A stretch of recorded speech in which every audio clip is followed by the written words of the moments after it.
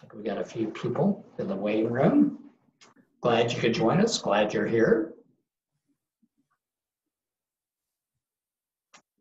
Um, Can you Has been raining much in Fort Worth? No, not really. We had, a- we had a few showers last night. Mosquito, mosquito population's going up though. Oh, yes. We, and we, we had spraying last night. And I, I noticed, I saw on the, uh, in the Dallas Morning News, they isolated West Nile and some of the, some of the mosquitoes. That's just what we need on top of everything else, more virus. Yeah. If you're not going to get COVID, then you're going to get stung Yeah. by a mosquito. Yeah, exactly. Did you, uh, are, are your kids very sensitive to mosquito bites? Yes, my youngest is. He he gets one. It's huge. It's itchy. Yeah, I'm, I'm kind of the magnet for the family. So everybody likes having me out because if I'm out, nobody else gets. Somebody's got to be that one testing. Exactly, exactly. We use a lot of the Ben's wipes, uh, which are, have you, have you ever used those? Yeah, yeah. Really good. I, and I like a white product so much better than the sprays. Definitely. Easier to use. And they're nice, you can get them online. Okay, Good. Well, I think uh, I'm going to go ahead and screen share now, April, and let me get let me get us up and going. Okay, good. Okay, well, I certainly, I think we'll go ahead and get started. I certainly wanted to welcome everybody to week 10 of our uh, Sagis Durham Pat Happy Hour. Uh, wanted to welcome everybody to our new time. Moving forward, the sessions will be at uh, 5 p.m. Central with 6 p.m. Eastern. And we're only going to be doing them live on Mondays. Uh, and we'll be recording the sessions. They'll be up on our YouTube site. So uh, you can watch them uh, at any time you want. But uh, again, they'll be on Monday nights, uh, a new time, 5 p.m., and that will be that will all be spelled out in your in the email that you get. Um, and again, uh, we wanted to reiterate the fact that we know this is a transitional time uh, for most people. Third years uh, going out into the workforce, uh, second years uh, moving up. And please uh, let us know if there's anything we can do to to support you in this transitional time. For those of you who are leaving, if you uh, want to continue to use our resources, make sure you forward your email address to to uh, education at sagisdx.com. Uh, most most of you, a lot of you, will be use, losing that educational email. So if you can provide us a personal or a Gmail address, we can make sure that we keep you uh, on our list uh, for upcoming educational activities. Uh, and uh, again, um, a lot of the sessions we've been doing and content has been driven uh, from your suggestions. And so I would encourage you to, uh, to please continue to email us suggested topics, uh, and we'll definitely incorporate those into future happy hours. as I'm speaking to you now, as you're watching this session, this is a, a pre recorded session, a remote session. Um, I'm going to be on vacation next week. Uh, and throughout the year, most of the sessions will be live, but from time to time, as either I'm out or as we ask a guest speaker to come in and do one of the happy hours, they will be pre recorded. So uh, please give us any feedback on the pre recorded sessions as well. That being said, we definitely want you to uh, feel free to submit any questions that you have uh, regarding this particular session or any session to our education email, education at sagisdx.com. Uh, likewise, you can reach out to me directly. Uh, my email is tdavis at sagisdx.com. My cell phone is 210 416 4815. Please feel free to text or call at any time as well. So, that being said, we'll go ahead and get started on this week's session. Uh, the topic of this week's session is uh, kind of fungus and friends or fungus among us. And uh, this was a suggested uh, topic by uh, Dr. Gravel from Houston. So thank you, Daniel, for that, uh, for that suggestion. Okay, our first slide, slide one, is a, uh, punch biopsy. I'm going to go ahead and rotate the slide here. And uh, we have a punch biopsy from the trunk. And as we move to higher power and take a look at the sections, we see there's a, a very sparse superficial uh, perivascular infiltrate within the dermis. And moving to higher power, uh, we begin to see that the uh, layer is slightly thickened, slightly thickened by basket weave hyperkeratosis. Uh, there's a very sparse superficial perivascular infiltrate of lymphocytes within the dermis. And uh, as we move to higher power, within this thickened stratum corneum, one begins to see organisms.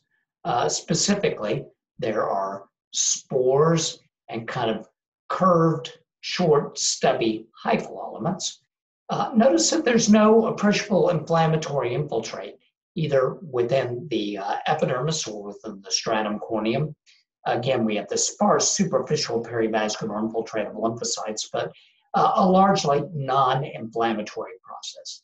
And this, of course, is uh, tinea versicolor uh, tinea versicolor is easily identified in H&E stained sections. The, uh, the organisms have a characteristic morphology.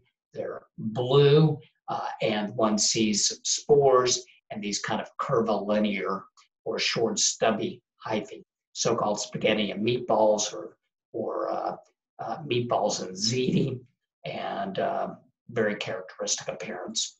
And what we're going to be focusing on uh, the first four or five slides is very superficial uh, fungal infections or superficial organisms that involve the uh, upper portions of the epidermis and stratum corneum. And then we'll close out with some examples of uh, deeper fungal organisms. And generally, uh, one additional point to make from this slide is, you know, on scanning magnification, if you see just a very sparse inflammatory infiltrate, uh, as you move into higher power, that's when you want to kind of systematically start in the stratum corneum and work your way down, looking for subtle alterations uh, that might give you a clue as to uh, the diagnosis uh, in a particular case. But tinea versicolor, easily identifiable organisms, basophilic color, and um, usually very, very paucely inflammatory. Okay, let's go ahead and move on to slide two. In slide two, we have another punch biopsy, also from the trunk or proximal extremity. And uh, as we move into higher power, we can see again there's a, a uh, perivascular infiltrate within the dermis. This one's a little denser, a little more robust than we saw in slide one. Uh, in addition, the epidermis is slightly uh, acanthotic here uh, crisp interface, not much in the way of spongiosis, a, a little bit of uh, epidermal hyperplasia. And uh, as we move into higher power, we can see both basket weave orthokeratosis and compact orthokeratosis within the stratum corneum. There's a uh, perivascular infiltrate of lymphocytes and a rare neutrophil present within the uh, papillary dermis. See that? neutrophil right here, kind of hone in on it. And um, when we look at the stratum corneum, we can see that we have a two-tone stratum corneum uh, in that we've got basket weave orthokeratosis, and let me see if I can get the slide to quit moving here. Basket weave orthokeratosis kind of up top, and a little bit of uh, parakeratosis and compact orthokeratosis below. This is a so-called sandwich sign where you get a uh, two-tone stratum corneum. And usually it's basket weave orthokeratosis and either underlying compact orthokeratosis or parakeratosis. And that can be a useful clue to the diagnosis of a dermatophyte infection. And indeed, if you look at the transition zone in this case, between those two types of stratum corneum, we begin to see uh, hyphal elements, some cut longitudinally and some cut in cross section, kind of sandwiched between these two types of stratum corneum. So this is an example of dermatophytosis. Now the organisms typically causing tinea or dermatophytosis are translucent. And as a result, they aren't as strongly basophilic. They tend to be more difficult to see than uh, the organisms causing tinea versicolor. And a lot of times they'll be associated with a more brisk inflammatory infiltrate within the epidermis. We don't have a whole lot of inflammation here, but if the uh, if we have a geophilic organism or a zoonophilic organism, zoophilic organism, then we're much more likely to see uh, inflammation. But again, look between these two types of stratum corneum, and that's where you're likely to see the hypoelements. Well, what are what are some of the clues that we have in a skin biopsy that, that would lead us to consider a possible diagnosis of dermatophytosis. Well, we've looked at one identified here, and that is notably the presence of the two-tone stratum corneum. Another clue is the presence of neutrophils within the stratum corneum or within the epidermis, the so-called newts and the horn. Anytime you see that, you want to make sure you carefully scrutinize the sections looking for uh, dermatophyte. Anytime you see a spongiotic dermatitis on a volar surface, uh, you always want to make sure that you look carefully for the presence of fungal elements in the stratum corneum. And the last and somewhat more subtle clue is also demonstrated in these sections. Anytime you see a psoriasiform dermatitis with epidermal hyperplasia and an overlying compact cornified layer, a cornified layer thickened by compact orthokeratosis. That combination too can be a useful clue to dermatophytosis. So I wanted to make sure I pointed out some of the uh, some of the clues that should lead you to carefully scrutinize the cornified layer, looking for uh, fungal elements, or if you're reading your own slides, uh, ask the lab to, to do a PAS or GMS. You want to make sure you have a pretty low threshold uh, for for checking for fungus. Stains are easy and they're not that expensive and uh, can, can really help you with the diagnosis. Moving on to slide three. Let me tilt the slide. We have a, a uh, punch biopsy. As we move to higher power, we can see we're uh, likely on the head or neck. Uh, we've got a lot of terminal follicular units. Some of them are actually quite deep uh, terminal hair follicles. Uh, some of them are embedded in the subcutaneous tissue, and uh, so we're likely to be on scalp or bearded area of a male. Let me go and clear that. As we move to slightly higher power, and I may have to reload this, I'm sorry because the slide's not letting me zoom in. But as we move to uh, higher power in this case, we begin to see a little bit of perifollicular inflammation. Uh, if we look at the epidermis, we can see it's mildly acanthotic, maybe with a little bit of spongiosis. But look at the hair shafts, uh, the or the hair follicles. The hair follicles are dilated, and take a look at the color of the hair shafts. These hair shafts are kind of pink orange or salmon in color. And I've found over the years that that can be a useful clue to a dermatophytic fungal infection. And if we zoom in here and look at the hair shafts, you can see that they're just loaded with arthrospores and hyphoelements. This is a case of tinea capitis, but you can see that same tinctorial change in hair shafts also in the setting of uh, Majocchi's granuloma or just dermatophytic folliculitis off the scalp. Sometimes you'll get a lot of perifollicular inflammation uh, in dermatophytic folliculitis or tinea capitis. Sometimes you won't. Here we've got a, a kind of a mild, really perivascular infiltrative lymphocytes, but sometimes you'll get a pretty dense mixed cell infiltrate uh, surrounding involved follicles, especially if they, they rupture. And if you get a suppurative folliculitis, with a perifollicular infiltrate containing neutrophils and eosinophils. I found that eosinophils in the setting of a suppurative folliculitis can also be a clue to uh, dermatophytosis. So this orange color of the hair shaft or salmon color of the hair shaft and uh, a mixed cell infiltrate uh, in the setting of suppurative folliculitis with uh, neutrophils and the eosinophils, think about the possibility of uh, dermatophytic folliculitis, or in this case, tinea capitis. Okay, let's go ahead and move on to slide four.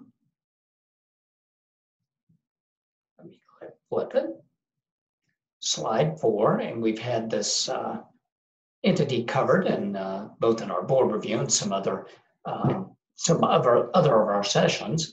Um, biopsy uh, from a volar surface. One can see right away a very, very thick stratum corneum. The epidermis is of normal thickness. And again, the process here is, is pretty pauci inflammatory. And when we get a biopsy like this, say it's kind of our invisible dermatosis, uh, that's when you want to start systematically in the stratum corneum and work your way down through the epidermis and dermis looking for subtle changes or subtle clues that might uh, lead you to the correct diagnosis. Well, if we zoom in here, as I'm sure you did, and look at the uh, stratum corneum here, lo and behold, uh, within the upper reaches of the stratum corneum, we see these uh, golden brown to darker color pigmented hyphal elements within the stratum corneum, which uh, produced a clinically pigmented lesion. This uh, biopsy was obtained to, to uh, rule out the possibility of an acromelanocytic lesion and specifically acromelanoma because it was a, a fairly large pigmented patch on the palm. And uh, the diagnosis in this case is tinea nigra. Sometimes tinea nigra will produce holes in the stratum corneum. And so on scan, if you see a pauci inflammatory biopsy, a lot of holes in the stratum uh, it can be a clue to, to the diagnosis of tinea nigra. Typically does not produce a lot of inflammation. So it tends to be uh, much uh, less or much more pauci inflammatory than some other dermatophyte infections. And of course, the causative organisms in, in uh, most uh, cases is Hortaea werneckii, which tends to, to occur in hot, humid climates. So we see uh, a fair amount of um, tinea nigra in, in Texas and in the South. Uh, moving on to slide five. Slide five is another biopsy from acral skin. One can see the epidermis is somewhat acanthotic. As we move to higher power, we can see again, this really is not too uh, heavy of an inflammatory process. There's very sparse infiltrative lymphocytes centered around a few dilated vessels. So again, we've got kind of one of these invisible dermatoses here. We want to kind of systematically proceed from the stratocornea on down uh, looking for alterations. And as we begin to focus in on the cornified layer, we begin to see a few kind of depressions or pits uh, in the stratum corneum. And if we move to higher power, you know, you, you begin to see these basophilic to slightly gray structures uh, near the surface of the specimen. And at higher power, uh, we begin to see uh, kind of pretty small rods and cocci, some of them vertically oriented within the stratum corneum. Not much of an associated inflammatory response. And uh, this combination of findings uh, on a uh, on a volar surface, the pits, and the presence of these uh, uh, cocci bacilli, rods and cocci uh, within the stratum corneum, is is diagnostic, really, of uh. You have similar appearing organisms in um, uh, the setting of erythrasma, although in erythrasma you frequently see more of an inflammatory response. And uh, of course, these are micrococci or diphtheroids that uh, cause pitted keratolysis.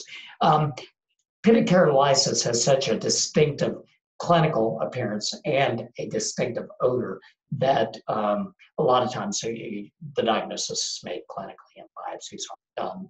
But um, pauci inflammatory, pits in the cornified layer, and these uh, rods and cocci on the surface of the specimen at the base of the pits uh, are uh, the uh, clues to, to the correct diagnosis of pitted keratolysis.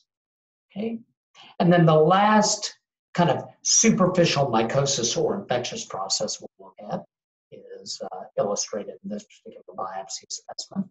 This was from the crural fold. And uh, one can see that the biopsy is mildly acanthotic.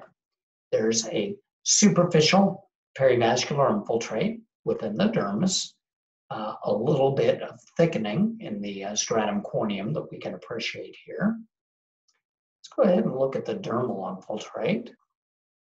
And within the dermis, uh, we can see a moderately dense infiltrate, largely of uh, lymphocytes, few extravasated red blood cells here in the dermis.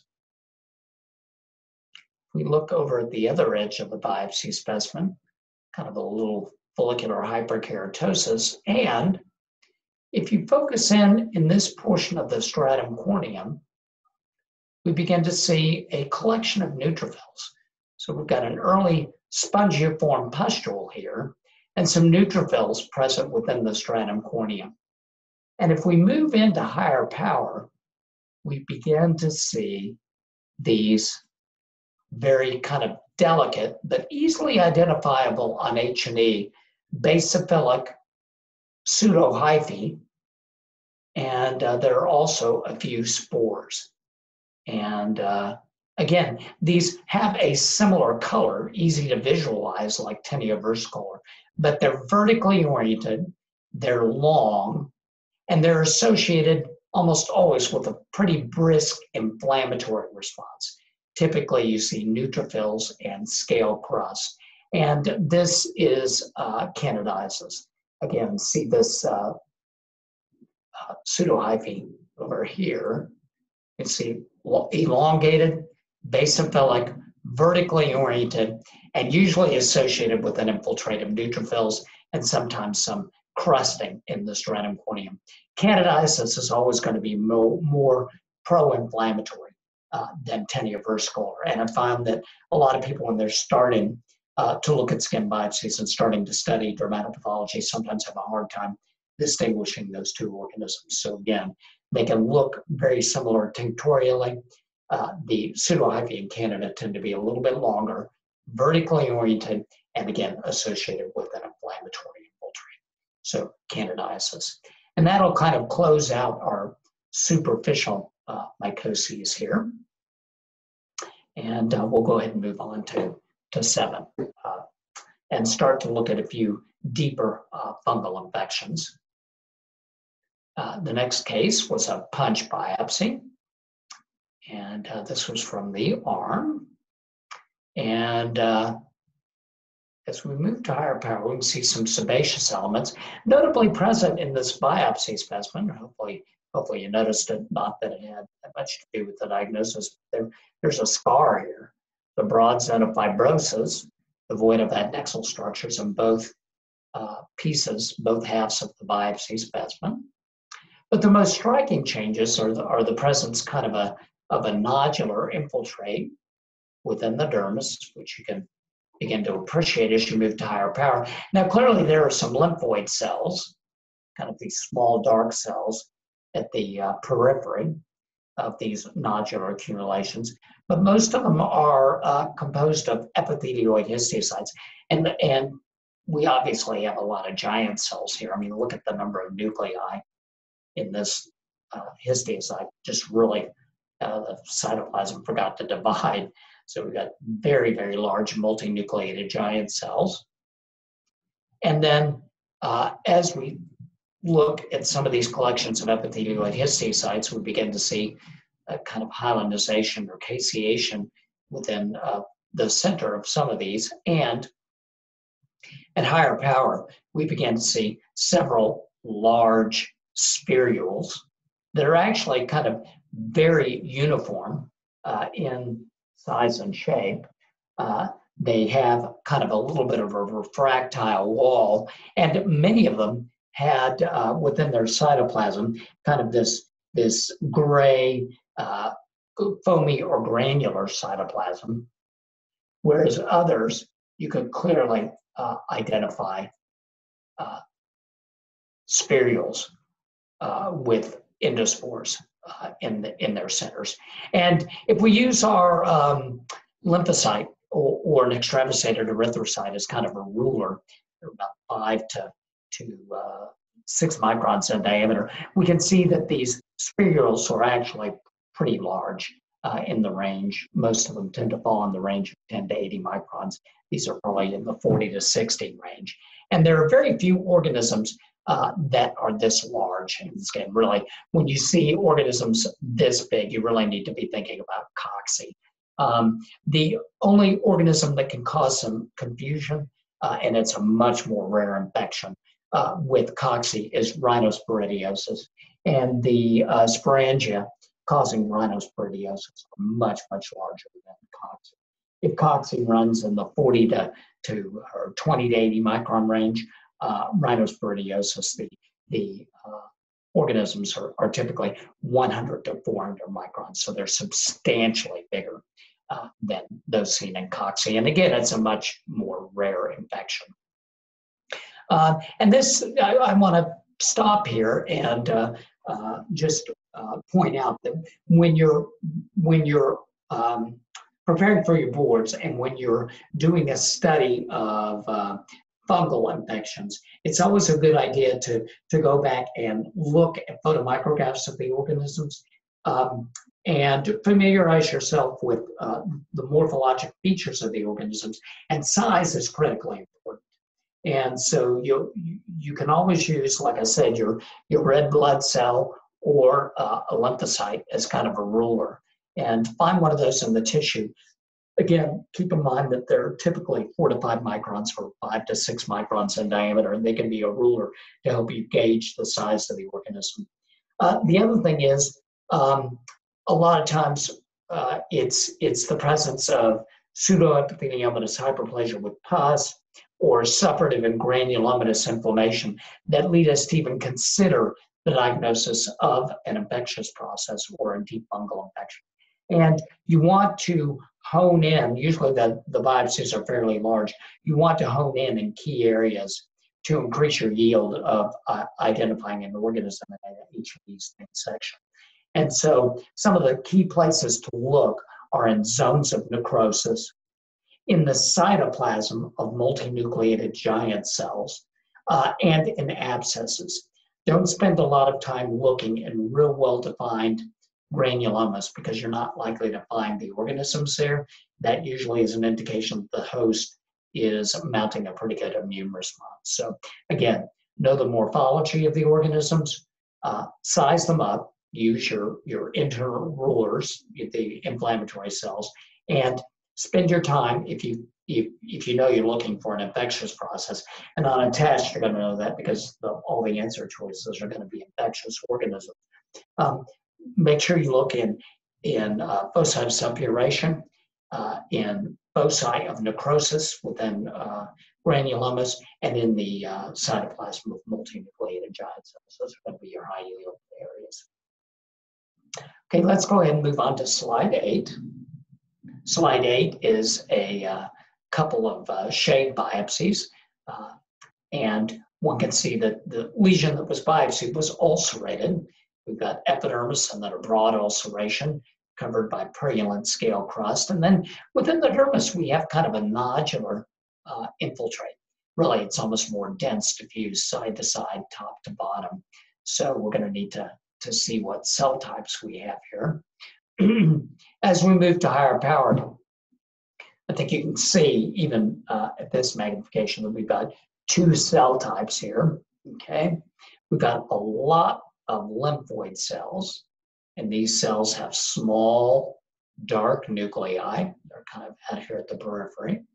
And then we have a uh, second population of cells, some of them forming nodular aggregates, uh, with a more epithelioid appearance. So these cells, I think you can see even at this power, have more abundant cytoplasm and nuclei that are slightly larger. And these, of course, are, are histiocytes, some of them forming granulomas. So we have a, a uh, somewhat of a granulomatous infiltrate here. And let's go ahead and look at this piece here. And if we look at higher power in the foci where the histiocytes are, we begin to see a lot of really cleared out spaces. And as we move to higher power, we can see that these are histiocytes. And within the histiocytes, we have several small organisms. And the reason the cells are cleared out is that the organisms have, have, have uh, localized to the periphery of the cells. So they're kind of lining up at the periphery of these histiocytes. Most of the organisms uh, are quite small. And again, if we use our lymphocyte or an extravasated red blood cell here, and if we know that this red blood cell has a diameter of about five microns, go ahead and circle that right here, then the organisms present within these histiocytes are in the two to three micron range. And what we have here, of course, is parasitized histiocytes. And when you see two to three uh, micron organisms within the cytoplasm of histiocytes in the skin biopsy, we've made this point in, in prior sessions, you're dealing with either histo or leishmaniasis. Now, there are a whole list of organisms, of course, that can give you parasitized histiocytes or histiocytes containing small organisms in their cytoplasm. But the only two that you're going to reliably and regularly see in H&E stained sections are histoplasmosis and leishmaniasis. And if the organisms uh, are located at the periphery of the cell, especially if it's occurring in concert with a moderately dense infiltrate of lymphocytes and uh, commonly plasma cells, and there are a fair number of plasma cells here in the infiltrate. The one is almost certainly dealing with, uh, with leishmaniasis. Um, both conditions give you parasitized histiocytes. Uh, the organisms are very similar in size, uh, but leishmaniasis shows one, a tendency to localize at the periphery of the histiocytes rather than filling their cytoplasm. And two, leishmaniasis tends to be associated with a heavier lymphoid or lymphoplasmacytic infiltrate, whereas uh, histoplasmosis tends to be associated with more granulomatous infiltrate. So let's go ahead and look at slide nine, which was an example of histoplasmosis, so we can compare the two. This slide was scanned at uh, a higher power, so it looks quite a bit bigger. It was an incisional biopsy. One can see a little bit of epidermal hyperplasia. And then within the dermis, we see kind of a nodular accumulation of inflammatory cells, a few dilated vessels, a few extravasated erythrocytes, and there are lymphocytes within the infiltrate, to be sure.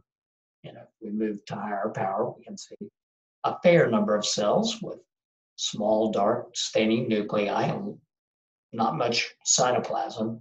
But in most areas, the predominant cell type, excuse me, has a larger nucleus with a more evenly dispersed chromatin.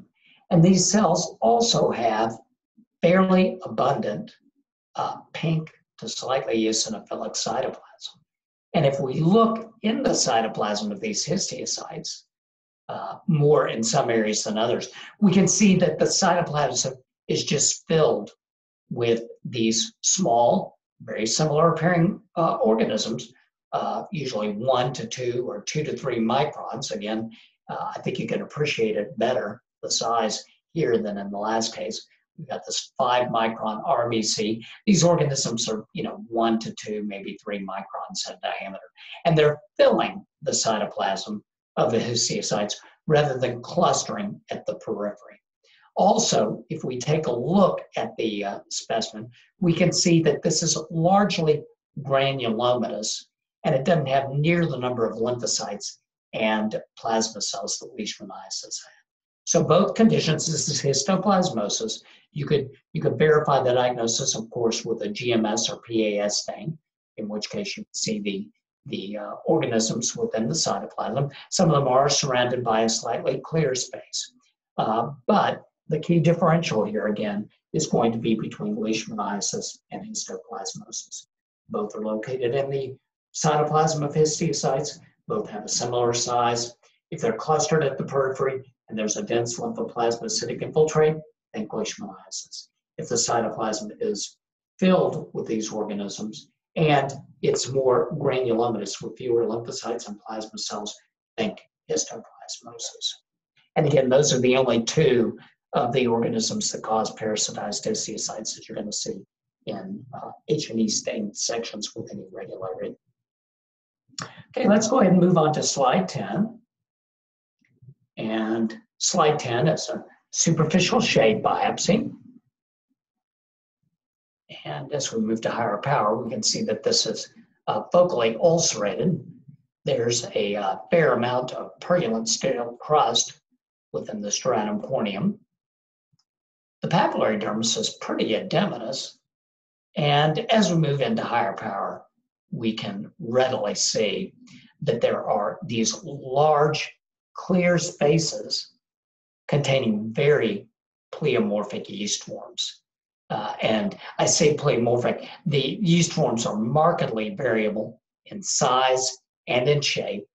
And they're located in these clear spaces, which are actually coalescent uh, capsules uh, of this particular yeast. Uh, the capsules would stain with mucicarmine. The organisms would stain with GMS, and in this case, Fontana as well, uh, even though they're not pigmented. And this, of course, is cryptococcosis. Um, cryptococcosis can be gelatinous like this, or it can produce a more granulomatous tissue response. Uh, when it produces a more granulomatous tissue response, the capsule uh, tends to shrink. It's not as obvious, and so it can be much more difficult to recognize the organism in tissue sections in the granulomatous form than in the gelatinous form. Uh, the size of these uh, organisms uh, is uh, typically, you know, seven, anywhere between one and seven microns, and um, very characteristic appearance. Th- this is a very social, or as Elston says, a very gregarious yeast, and it likes to live kind of in these yeast condos, not too good at social distancing. So when you see clear spaces containing pleomorphic yeast forms that are kind of clustered together, uh, think uh, about the diagnosis of cryptococcosis. Okay.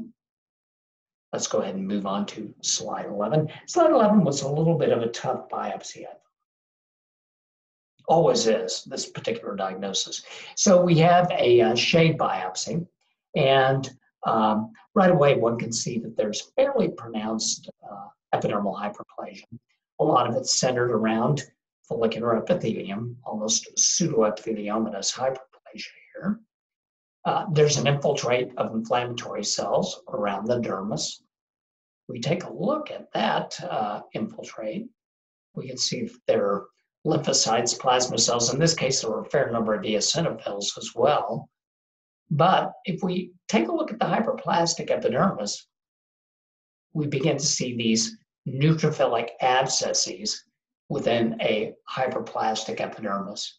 So this is kind of classic pseudoepitheliomatous hyperplasia with pus.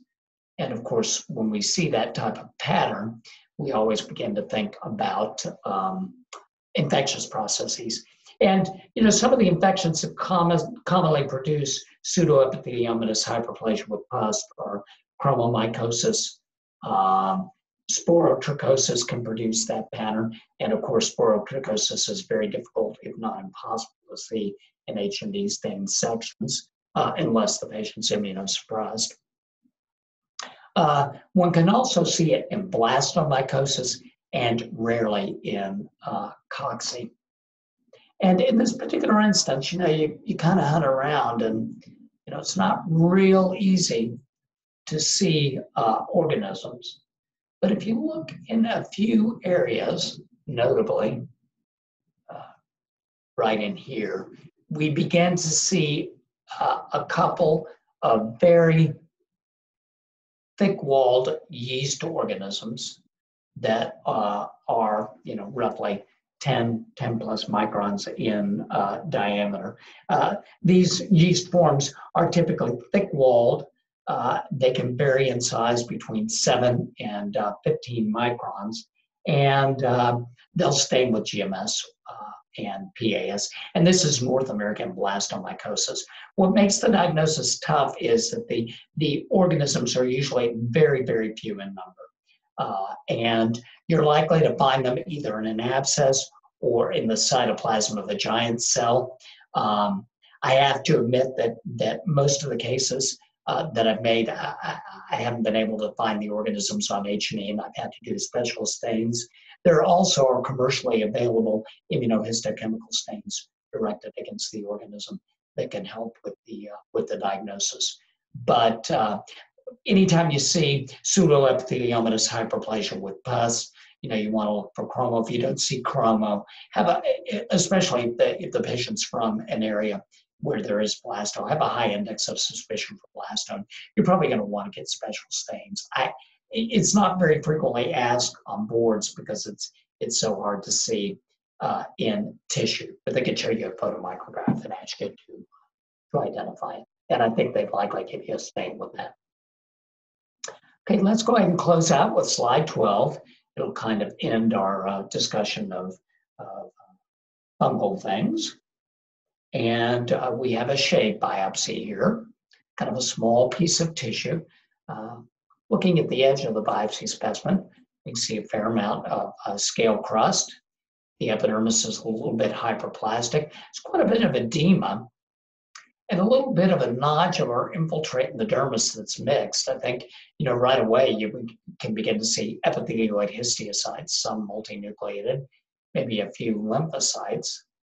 And then as we move into higher power, we begin to see these kind of blue gray um, morula type structures. They almost look like berries, and they're they're uh, kind of septate, and uh, these uh, look somewhat like soccer balls. And um, this is a very characteristic uh, histologic appearance for protothecosis. Protothecosis is, of course, uh, an algae, and uh, it's an achlorophyll algae, and it's found in tree slime. Uh, and prototheca usually, and protothecosis usually occurs from implantation of the organism in an immunocompromised uh, individual. Uh, is a frequent cause of olecranon bursitis, actually. And uh, this is just a very characteristic appearance. What you want to look for are these 5 to 10 micron sporangia that have kind of a morula appearance with, with, with these septations that cause them to resemble soccer balls. And they're kind of this, this gray to slightly translucent color and you'll you'll frequently find them in uh, in giant cells. So uh, and this kind of closes out our discussion of things fungus, both superficial and deep. Again, I realize that we had covered some of these in prior sessions, but I think sometimes it's good to look at them all together. So because it gives you the opportunity to discuss tissue reaction patterns and to look at the organisms uh, side by side. Well, I want to thank you for your attention. Uh, I want to wish everybody a very, very happy and safe uh, 4th of July.